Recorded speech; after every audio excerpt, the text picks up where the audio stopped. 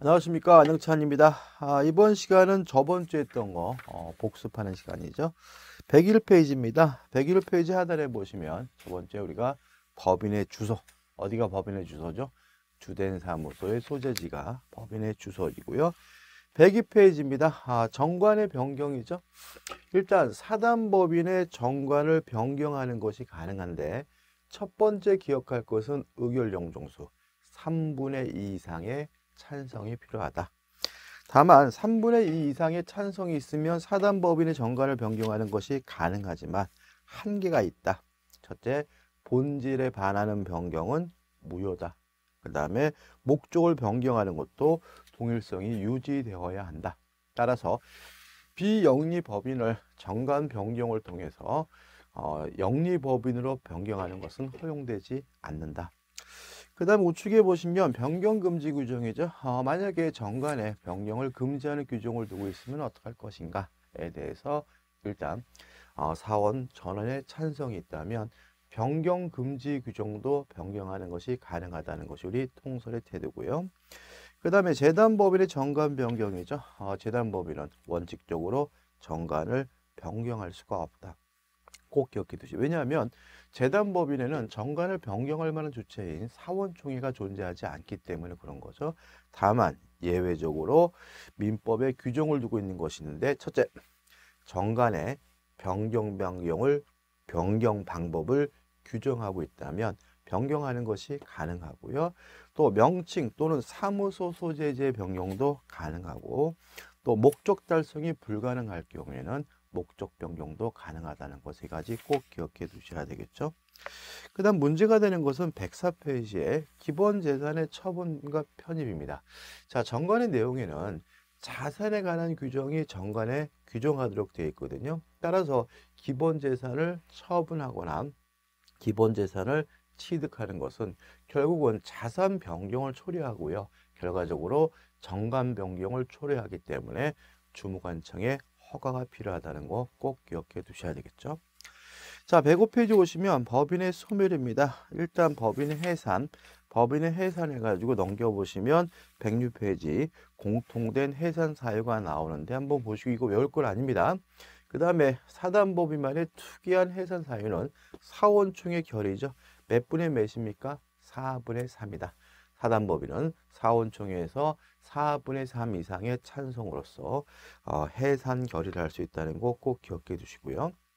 자, 해산하게 되게 되면 법인은 이제 청산법인이 되고 법인의 재산을 청산하게 되는데 107페이지 보시면 청산법인은 청산 목적 범위 내에서만 권리 능력이 인정이 되고요. 만약에 목적 범위를 이탈해서 어떤 행위를 하게 되면 그런 행위는 무효가 된다는 것이 우리 판례 입장이고요. 그 다음에 청산법인의 기관에서 청산인이 나오죠. 자, 법인의 대표기관은 이사고요. 청산법인의 대표기관은 청산인이고 원칙적으로 이사가 청산인이 된다는 거 기억해 두시면 되고요. 108페이지 오시면 청산인의 직무 관한 청산 사무가 나와 있는데 어, 간단히 말씀드리면 청산 사무를 할 수 있는 거죠. 그래서 해산 등기를 하게 되고 주무관청에다가 해산 신고를 하게 되고요. 또 현존 사무를 종결하기 위해서 받을 돈이 있다면 채권을 추심하게 되고 갚을 돈이 있다면 채무를 변제하게 된다는 거 좀 기억해 두시면 되고요. 그다음 110페이지 시험에 잘 나오는 거죠. 만약에 이러한 청산 절차를 거쳐서 법인의 자녀 재산이 존재하는 경우에는 누구에게 가져가느냐? 첫째, 정관에 기재된 자에게 갑니다. 두 번째, 만약에 정관에 기재된 자가 없고 없거나 그래도 자녀 재산이 존재하는 경우에는 두 번째, 주무관청의 허가를 얻어서 유사한 목적으로 재산을 처분하게 되고요. 마지막으로 어, 그런데도 불구하고 자녀 재산이 존재하는 경우에는 그 자녀 재산은 국고에 기속되게 됨을 주의하시기 바랍니다. 따라서 비영리법인이 청산하고 자녀 재산이 존재하는 경우에는 뭐 출연자가 재산을 가져가는 거 없고요. 원칙적으로 사원들이 나눠 갖는 것들이 아니라는 거 주의하시기 바랍니다. 1차적으로 누가요? 정관에 기재된 자. 2차적으로 주무관청이 허가를 얻어서 유사 목적으로 처분하게 되고요. 그리고 나서 그래도 재산이 남으면 국고로 기속하게 됨을 주의하시기 바랍니다. 그 다음에 여섯 번째 만약에 이런 청산 과정에서 적극 재산보다 수곡 재산이 초과되는 경우에는 청산인은 파산 신청을 하게 되고요. 파산 신청이 있으면 파산 사무는 파산 관제인에게 그 의무가 권한이 넘어가게 됨을 주의하시기 바라고 이러한 절차를 거쳐서 청산 청산이 다 끝나게 되면 우측에 아, 법원에 가서 청산 종결 등기라고 주무관청에 청사이 종결됐음을 신고하게 돼요. 주의하실 점은 자 법인이 권리 능력이 소멸되는 시점에 대해서 우리 판례는 청산 종결 등기를 했을 때 권리 능력이 소멸되는 것이 아니라 실질적으로 청산 사무가 모두 마무리됐을 때 청산 사무가 모두 종료가 됐을 때 비로소 권리 능력이 소멸된다는 것이 우리 판례 입장임을 주의하시기 바라고요. 그 다음 111페이지 보시면 법인의 등기 사항이 나오죠. 일단 정관의 기재사항과 차이점을 좀 기억해 두셔야 되는데 시험에 가장 많이 나오는 곳은 뭐냐면 8호죠. 이사의 성명과 주소입니다.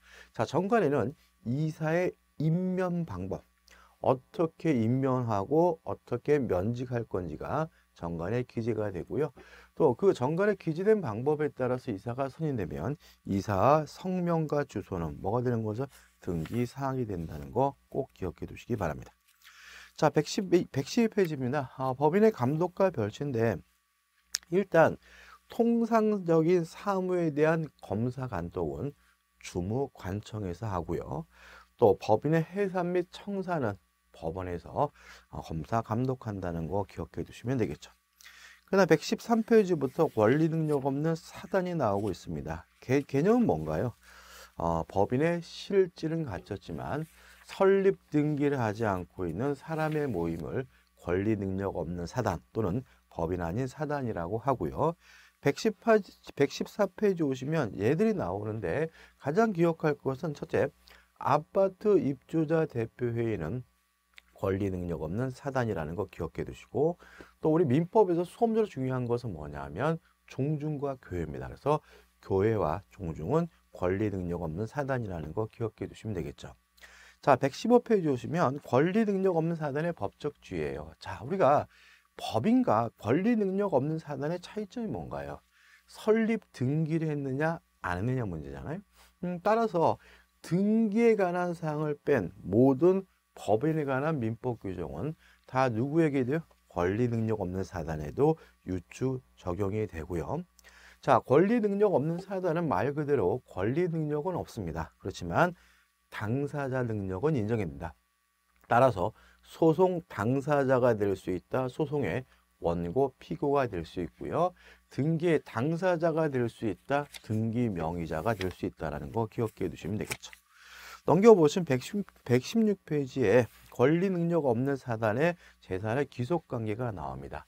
자, 일단 권리 능력 없는 사단은 권리, 소유권을 가질 수는 없습니다. 따라서 권리 능력 없는 사단이 소유하고 있는 부동산은 그 권리 능력 없는 사단 자체의 것이 아니라 그것을 구성하고 있는 자연인들의 공동 소유인데요. 그 형태는 총유가 됩니다. 총유의 가장 중요한 특징은 지분 자체가 없다는 점, 그 다음에 총유물에 관한 모든 사항은 다 사원총회의 결의를 통해서 하게 된다는 거죠. 다시 말하면 보존행위든 관리행위든 처분행위든 총유물에 관한 모든 사항은 다 무엇을 통해서요? 사원총회의 결의를 통해서 이루어진다는 거 기억해 두시면 됩니다. 그다음 117페이지 오시면 권리 능력 없는 재단이 나오죠. 자, 개념은 뭘까요? 재단의 실질은 갖췄지만 재단 법인으로서 설립 등기를 안 하고 있는 사람의 아, 재산의 집합을 권리 능력 없는 재단이라고 하고요. 권리 능력 없는 재단의 소유 형태에 대해서는 그 권리 능력 없는 재단 자체의 단독 소유로 이해한다는 것을 기억해 두시면 됩니다. 자, 이제 119페이지 오시면 권리의 객체가 나오죠. 일단 권리의 객체로서 뭐가 나오나요? 물건이 나오죠. 자, 물건이 뭐냐? 유체물 및 전기, 기타 관리할 수 있는 자연력을 말한다. 자, 유체물은 물건인데 다만 신체 일부이면 안 되는 거죠. 따라서 신체 일부는 물건이 아니라는 거 주의하시기 바라고요. 어, 그 다음에 120페이지 오시면 물건의 본류 해가지고 쭉 나오는데 우리가 기억할 것은 뭐냐면 122페이지에 대체물, 부대체물, 특정물, 불특정물이죠. 자, 아, 그 물건의 물리적인 사회 통념에 따른 물건의 객관적 성질을 가지고 다른 물건으로 바꿀 수 있는 것은 대체물, 다른 물건으로 바꿀 수 없는 것은 부대체물이 되고요. 이것과, 이것과 달리 당사자의 주관적 의사에 따라서 다른 물건으로 바꿀 수 없는 것은 특정물, 다른 물건으로 바꿀 수 있는 것은 불특정물인 거죠. 자, 얘가 이런 예를 들었습니다. 아, 소나타 자동차 한 대. 그러면 소나타 자동차는 세상에 많기 때문에 일반적으로 물리적으로는 대체물로 평가되겠죠. 근데 만약에 당사자 간의 의사 계약으로 인해서 요 소나타 자동차라고 주관적으로 결정하게 되면 그 지정된 요 소나타 자동차는 세상에 똑같은 것이 있을 수 없는 것이니까 그때는 뭐가 되는 거죠? 특정물이 된다는 거 주의하시면 되겠죠. 그 다음 123페이지입니다. 동산과 부동산이죠. 자, 부동산은 뭔가요? 토지 및 그 정착물이 부동산이고 동산은 뭐냐면 부동산 이외의 물건을 우리가 동산이라고 한다. 그래서 토지에 정착되어 있다면 경과든 경과하지 않든 부동산이다. 건물 물론 부동산이고요. 토지에 정착되어 있는 수목도 부동산이고 농작물도 부동산이고 그 사과나무 사과도 뭐로 평가되죠? 동사, 부동산으로 평가된다는 거 주의하셔야 된다는 거 말씀드렸던 기억이 나네요. 자, 126페이지 오시면 이제 뭐가 나오죠? 주물과 종물이 나오죠. 말끝은 주된 물건과 종된 물건이죠. 그래서 실제로는 주된 물건이 있어야지만 존재할 수 있는 것, 주된 물건이 있어야지만 존재 가치가 있는 것을 우리가 종물이라고 하는데 무엇과 구별하셔야 됩니까? 부합물과 구별하셔야 된다. 자, 물건끼리 결합이 돼가지고 분리할 수 없거나 분리하는데 과다한 비용이 된다면 그것은 단순한 종물이 아니라 부합물로 평가되고요. 분리하는 것이 가능하긴 한데 분리하는데 과다한 비용이 들지 않긴 하지만 실제로 분리하면 존재 가치가 없는 경우 우리가 종물이라고 하는 거죠. 그래서 127페이지 오시면 요건이 나오죠. 어, 주의하실 것은 3번 종물은 독립한 물건일 것. 이 말은 뭐냐? 물건일 것. 이 말은 뭐죠? 분리할 수 있어야 된다. 만약에 결합이 돼서 분리할 수 없고 독립된 물건으로 평가될 수 없다면 그것은 뭐가 되는 거죠? 부합물이 된다는 거 주의하셔야 되겠죠.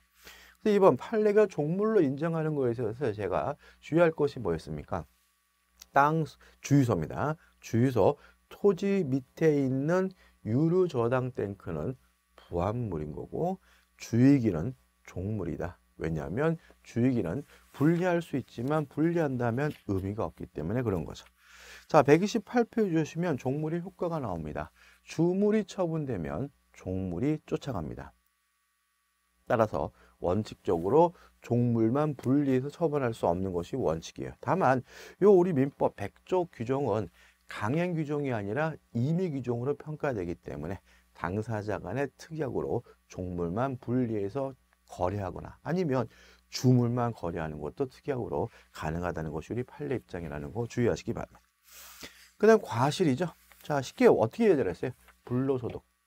그래서 노력을 기울이지도 않게 되, 않았는데도 불구하고 얻게 되는 이득 우리가 과실이라고 하는데 과실은 천연과실과 법정과실이 있죠. 그래서 사과나무의 사과, 소가 짜는 우유, 닭이 낳는 달걀 같은 것은 천연과실이고 이자, 차임, 지료 같은 것은 우리가 법정과실이고 누가 갖느냐? 아, 수취권자가 있는 사람이 천연과실의 경우는 분리할 때 소유권과 같은 수취권이 있으면 수취하게 되고요.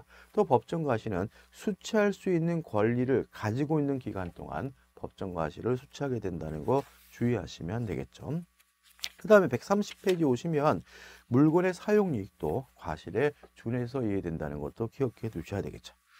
그 다음 131페이지입니다. 자, 권리 변동이죠. 권리가 발생되고 변경되고 소멸되는 것을 우리가 권리의 변동이라고 하는데 아, 누구한테 넘겨받는 것이 아니라 맨 처음으로 권리를 갖는 것을 원시 취득이라고 하고 누가 가지고 있는 것을 넘겨받는 것을 승계 취득이라고 하는데 권리를 넘겨받음으로써 구권리자의 권리가 소멸되게 되면 이전적 승계 권리를 넘겨받았는데도 불구하고 후권리자의 권리가 소멸되지 않는다면 이걸 우리가 설정적 승계라고 하고요. 이전적 승계를 다시 매매 같은 특정 승계와 상속과 같은 포괄 승계로 나뉘고 있음을 주의하셔야 되겠죠. 그 다음 133페이지의 권리의 변경이죠. 주체의 변경. 이전적 승계가 결국은 주체의 변경이다. 그 다음에 내용의 변경 두 가지가 있습니다. 질적 변경과 양적 변경이 있는데 질적 변경이라는 것은 권리 자체가 다른 권리로 뒤바뀌는 것을 말하고요. 양적 변경이라는 것은 권리 자체는 그대로인데 권리자로서의 할 수 있는 일의 양이 늘거나 주는 것을 말하고 소유물의 제한 물권을 설정하는 것을 우리가 양적 변경이라고 하죠. 이에 반해서 권리도 그대로고 양도 그대로고 할 수 있는 일의 양도 그대로인데 다만 힘, 파워가 바뀌는 것을 우리가 작용의 변경이라고 하고 임차권자가 대항력을 취득하거나 아니면 이순위 저당권자가 일순위로 순위가 승진되는 것은 대표적인 작용의 변경인 거죠. 그 다음 이 권리의 소멸입니다. 자, 건물이 멸실되는 것과 마찬가지로 모든 사람들이 봤을 때 권리 자체가 없어지는 것을 우리가 절대적 소멸이라고 하고요. 어, 매수인이 권리를 취득하게 되면 전 권리자가 소유권이 없어지는 것처럼 이전적 승계람으로써 어, 구권리자 권리가 소멸되는 것을 우리가 상대적 소멸이라고 하는 거죠. 자, 여기까지가 우리가 저번주에 했던 수업이고요. 자, 이제 다음 시간에 이제 이번 주 진도를 본격적으로 나가도록 하겠습니다.